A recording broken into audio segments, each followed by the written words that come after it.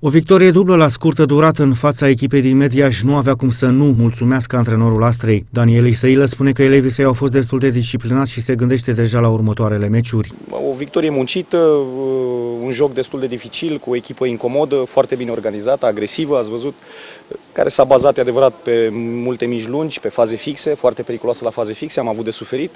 E bine că am trecut cu bine peste, cu puțină șansă, poate, cu toate că dacă stau să analizez uh, mult prea ușor în opinia mea cel puțin, trebuie să revăd, au fost acordate cele două, trei uh, lovituri libere. Uh, important e că am reușit să revenim, să înscriem, să ne mai creăm încă situații de, de gol. Mă bucur foarte tare că cei care au intrat de pe bancă de data aceasta au venit cu un plus și au făcut diferența. Am obținut o victorie destul de grea și ne bucurăm pentru cele trei puncte. V-ați apropiat la trei puncte de steaua. Vă luptați pentru titlu? Nu pot spun că ne luptăm pentru titlu, ne luptăm să fim, să fim acolo sus în primele trei. Cristi Dolca, antrenorul medieșenilor, crede că scorul de 3 la 1 este unul mincinos. Echipa sa a fost învinsă, deși ar fi putut obține un scor mai bun. Eu zic că e un rezultat mincinos, pentru că am, am condus 1-0, am, am avut o repriză în care, chiar dacă am condus 1-0, ne-a egalat foarte repede.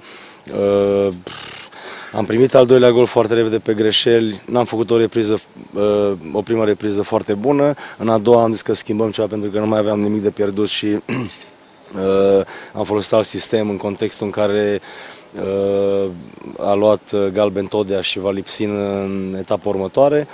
Am folosit două vârfuri, am, ne-am creat multe ocazii, zic eu, în, în a doua repriză, chiar două ocazii monumentale la, la 2-1, poate altfel era soarta jocului. Astra rămâne pe locul secund în clasament cu 26 de puncte, golaveraj 29 la 11, cu 3 puncte în urma Stelei și cu un punct în fața ocupantei locului 3. Rivala, Petrolul Ploiești, urmează Pandurii cu 23 de puncte, iar pe locul 5 Ceahlăul cu 20 de puncte. Pe ultimele două locuri se află Corona Brașov și Universitatea Cluj cu 6, respectiv 4 puncte.